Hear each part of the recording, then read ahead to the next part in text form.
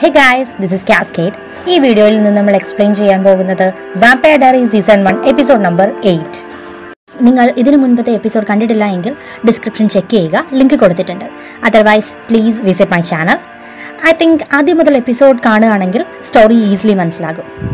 On recap Vicki transformation complete ചെയ്ത് ഒരു വാമ്പയറായി മാറി ആൻഡ് അവൾ എലിനെ അറ്റാക്ക് ചെയ്തു. എലിനെ രക്ഷിക്കാൻ സ്റ്റെഫന് വിക്കിയെ കൊല്ലേണ്ടതായി വരുന്നു. ബട്ട് എലീന ഇത് കണ്ട് വല്ലാതെ പേടിക്കുന്നു ആൻഡ് സ്റ്റെഫനുമായി ബ്രേക്കപ്പ് ആകുന്നു.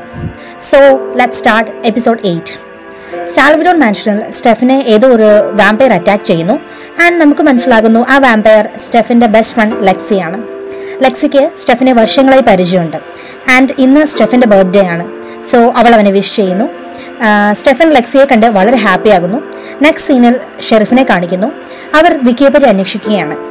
ആൻഡ് എല്ലാവരും കരുതുന്നത് വിക്കി ഡ്രഗ് അഡിക്റ്റ് ആയതുകൊണ്ട് മേ ബി അവൾ എങ്ങോട്ടേലും ഓടിപ്പോയതായിരിക്കാം. മേ ബി ഇനി തിരിച്ചു വരില്ലായിരിക്കും എന്നൊക്കെയാണ്. അവർ എലീന മാറ്റ് ടെയ്ലർ എല്ലാവരെയും ക്വസ്റ്റ്യൻ ചെയ്യുന്നു. ലേറ്റർ സാൽവിറ്റോർ മാൻഷനിൽ ലെക്സിയെ കാണിക്കുന്നു. അവളോട് ഡെയ്മൺ വന്ന് സംസാരിക്കുന്നു. അതിൽ നിന്ന് നമുക്ക് മനസ്സിലാകുന്നു ആസ് എ വ്യൂവർ ലെക്സിക്ക് ഡെയ്മനെ കണ്ണിന് കാണരുത്. അവൾ ഡെയ്മനോയെ വാൺ ചെയ്യുന്നു. ഡെയ്മൺ എങ്ങാനും സ്റ്റെഫിന്റെയും ലെക്സിയുടെയും ഇടയിൽ കയറിയാൽ അല്ലെങ്കിൽ സ്റ്റെഫിനെ ബുദ്ധിമുട്ടിച്ചാൽ നിന്നെ ഞാൻ തീർത്തു കളയുമെന്ന് അവൾ അവനോട് പറയുന്നു. ലെക്സി ഓർമ്മിപ്പിക്കുന്നു ഞാൻ നിന്നെക്കാളും ഓൾഡ് ആൻഡ് പവർഫുൾ ആയ വാമ്പയർ ആണ്. സോ എന്റെ അടുത്ത് കളിക്കാൻ നിൽക്കണ്ട. ഇത് കേട്ടപാടെ ഡെയ്മൺ അവിടെ നിന്നും എസ്കേപ്പ് ആകുന്നു. നെക്സ്റ്റ് സീനിൽ ജെർമി പഠിക്കാൻ തുടങ്ങുന്നു. ഇത് കണ്ട് എലീനയും ആൻജൈനയും ഷോക്ക്ഡ് ആകുന്നു. ആൻജൈന പറയുന്നു മിസ്റ്റർ ലോഗന്റെ ഒരു ഇമെയിൽ വന്നു. അയാൾ ഇനി തിരികെ വരില്ല എന്ന് പറഞ്ഞു. ഇത് ഇയാളുടെ സ്ഥിരം പണിയാണ് എന്ന് പറഞ്ഞ് ആൻജൈന സാഡ് ആകുന്നു. നെക്സ്റ്റ് സീനിൽ ഡെയ്മൺ ഒരു പാക്കറ്റുമായി ഷെറിഫിന്റെ അടുത്ത് പോയി പറയുന്നു അങ്കിൾ സാൻ ഇത്രയും റിവൈൻ മാത്രമേ സൂക്ഷിച്ചു വെച്ചിരുന്നുള്ളൂ. അവരുടെ സീക്രട്ട് കൗൺസിലിലെ മെമ്പർ ആണെന്ന് കരുതി ഷെറിഫ് ഡെയ്മനോട് പറയുന്നു ഇപ്പോൾ വാമ്പയറിന് ഡേ ടൈമിലും കറങ്ങി നടക്കാൻ കഴിയുമെന്ന് തോന്നുന്നു. ഇത് കേട്ട് ഡെയ്മൺ വിജിലന്റ് ആകുന്നു. ആൻഡ് അവൻ ആക്ട് ചെയ്യുന്നു കൗൺസിലെ ഒരു മെമ്പറായിട്ട്. നെക്സ്റ്റ് സീനിൽ ബാനിയെ കാണിക്കുന്നു. അവൾ വളരെ ഹാപ്പിയാണ്. അവളുടെ ഗ്രാനി അവളെ ഒരു പുതിയ മാജിക് ട്രിക്ക് പഠിപ്പിച്ചിട്ടുണ്ട്. ഇത് കേട്ട് എലീന വളരെ എക്സൈറ്റഡ് ആകുന്നു. ഈ മൊമെന്റിൽ ബാനി വളരെ പ്രൗഡായി ഫീൽ ചെയ്യുന്നു. ആ സീനിൽ ബാനിയുടെ ഫസ്റ്റ് മാജിക് നമുക്ക് കാണാം. അവൾ കുറെ ഫെതേഴ്സ് പറപ്പിക്കുന്നു. അത് താഴേക്ക് വീഴാതെ എലീനയ്ക്ക് ചുറ്റും കറങ്ങി നടക്കുന്നു. എലീന ഇത് കണ്ട് വളരെ ഹാപ്പി ആകുന്നു. ബാനി പറയുന്നു ഇത് സീക്രട്ട് ആക്കി വെക്കണമെന്നാണ് ഗ്രാനി പറഞ്ഞത്. ബട്ട് നീ എന്റെ ബെസ്റ്റ് ഫ്രണ്ട് ആണ്. അതുകൊണ്ടാണ് നിന്നോട് ഇത് ഷെയർ ചെയ്തത്. നെക്സ്റ്റ് സീനിൽ ഡെയ്മൻ കാരോളിനെ ഹിപ്നോട്ടൈസ് ചെയ്യുന്നു ആൻഡ് ഇൻസിസ്റ്റ് ചെയ്യുന്നു ഇന്ന് കാരോളിൻ മിസ്റ്റിക് ഗ്രിൽ റെസ്റ്റോറന്റിൽ ഒരു പാർട്ടി നടത്തണം. സാൽവിറ്റോർ മാൻഷനിൽ ചെന്ന് സ്റ്റെഫിനെയും ലെക്സിയെയും ആ പാർട്ടിക്ക് ഇൻവൈറ്റ് ചെയ്യണം. ഇത്രയും പറഞ്ഞ് ഡെയ്മൻ സ്ഥലം വിടുന്നു. ആസ് എ വ്യൂവർ നമുക്ക് മനസ്സിലാകുന്നു ഡേമൺ എന്തൊക്കെയോ പ്ലാൻ ചെയ്യുന്നുണ്ട്. ഇന്ന് സ്റ്റെഫിന്റെ ബർത്ത്ഡേ ആയതുകൊണ്ട് പാർട്ടി അറ്റൻഡ് ചെയ്യാൻ സ്റ്റെഫൻ തീരുമാനിക്കുന്നു. ലെക്സിയും പാർട്ടി അറ്റൻഡ് ചെയ്യാൻ അവനെ ഇൻസിസ്റ്റ് ചെയ്യുന്നു. ലക്സി ഒരു ഷവറിനായി പോകുന്നു. അവൾ ബാത്ത് ടൗണിൽ നിന്ന് തിരികെ വരുമ്പോൾ എലീനയെ കാണുന്നു. ഡോർ നോക്ക് ചെയ്തിട്ട് ആരെയും കാണാഞ്ഞതുകൊണ്ട് എലീന അകത്തേക്ക് വന്നതായിരുന്നു. ലക്സിയെ ടൗലിൽ കണ്ട എലീന വളരെ ഓക്വേർഡ് ആകുന്നു. കാതറിന്റെ സെയിം ഫേസ് കട്ടിലുള്ള എലീനയെ കണ്ട് ലക്സിയും ഷോക്ക്ഡ് ആകുന്നു. ലെക്സി എലീനയോട് ചോദിക്കുന്നു നീ ആരാ? എന്തിനാ ഇവിടെ വന്നത്? എലീന പറയുന്നു ഞാൻ സ്റ്റെഫിന്റെ ഫ്രണ്ടാണ് അവനെ കാണാനാണ് വന്നത്. ലക്സിയും പറയുന്നു അവളും സ്റ്റെഫിന്റെ ഫ്രണ്ടാണ് സ്റ്റെഫിനെ കാണാനായി കുറേ കാലങ്ങൾക്ക് ശേഷം വളരെ ദൂരത്തു നിന്ന് ഞാൻ വന്നതാണ്.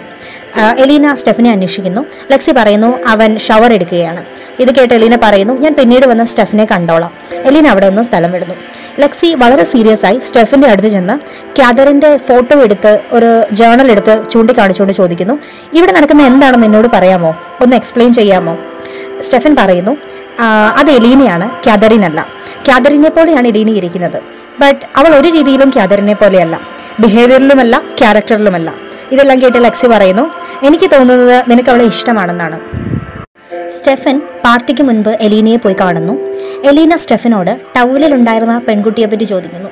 സ്റ്റെഫൻ എക്സ്പ്ലെയിൻ ചെയ്യുന്നു അവൾ ലെക്സിയാണ് എന്റെ ബെസ്റ്റ് ഫ്രണ്ടാണ് ഞങ്ങൾ തമ്മിൽ നീ വിചാരിക്കുന്ന പോലെ ഒരു റൊമാന്റിക് റിലേഷൻ ഒന്നുമില്ല ബട്ട് ഒരാൾക്ക് ലൈഫിൽ കിട്ടാവുന്നതിൽ വെച്ച് ഏറ്റവും നല്ല ഫ്രണ്ട്ഷിപ്പാണ് അവളുടേത്. ആൻഡ് അവളൊരു വാമ്പയർ ആണ് അബൌട്ട് ത്രീ ഫിഫ്റ്റി ഇയേഴ്സ് ആണ് അവളുടെ ഏജ് അവൾ ഇന്ന് എന്റെ ബർത്ത്ഡേ ആയതുകൊണ്ട് എന്നെ കാണാൻ വന്നതാണ്. ഇത് കേട്ട് എലീന സ്റ്റെഫിനെ ബർത്ത്ഡേ വിഷ് ചെയ്യുന്നു. മിസ്റ്റിക്കൽ റെസ്റ്റോറന്റിൽ പാർട്ടി സ്റ്റാർട്ട് ചെയ്യുന്നു.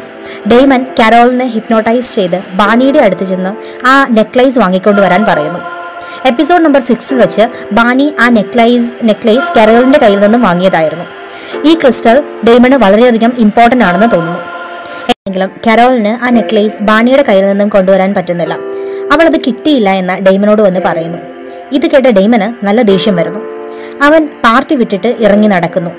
വഴിയിൽ വെച്ച് ഒരു കപ്പിളിനെ കാണുന്നു. അതിൽ മെയിൽ പാർട്ട്ണറെ കൊന്നിട്ട് ഫീമെയിൽ പാർട്ട്ണറിനെ അവൻ ഹിപ്നോട്ടൈസ് ചെയ്യുന്നു. അതെന്തിനാണെന്ന് ആസ് എ വ്യൂവർ നമ്മളെ കാണിക്കുന്നില്ല. അവിടെ കൊണ്ട് ആ സീൻ കട്ടാകുന്നു ലേറ്റർ ആ റോഡിൽ പോലീസ് വരുന്നു. അവിടെ വെച്ച് പോലീസ് ഒരു ഡെഡ് ബോഡിയും അതിനടുത്ത് പേടിച്ചരണ്ടിരിക്കുന്ന അയാളുടെ ഗേൾ ഫ്രണ്ടിനെയും കാണുന്നു. ഡെയ്മൺ തിരികെ പാർട്ടിയിലേക്ക് വരുന്നു. കുറച്ച് ഡ്രിങ്ക്സ് എടുത്ത് കഴിച്ചുകൊണ്ട് സ്റ്റെഫനുമായി സംസാരിക്കുന്നു. ലെക്സി എലീനയുടെ അടുത്ത് വന്ന് സ്റ്റെഫിനെ പറ്റി സംസാരിക്കുന്നു. ലക്സി പറയുന്നു എനിക്കും ഒരാളെ ഇഷ്ടമായിരുന്നു. ആൻഡ് അയാളും ഒരു ഹ്യൂമൻ ആയിരുന്നു. ആദ്യം എല്ലാം വർക്കൗട്ട് ആകാൻ വളരെ ഡിഫിക്കൽട്ട് ആയിരുന്നു. ബട്ട് ലേറ്റർ എല്ലാം ശരിയായി. ആൻഡ് പുള്ളി ഇപ്പോൾ വാമ്പയർ ആയി ടേൺ ചെയ്തു.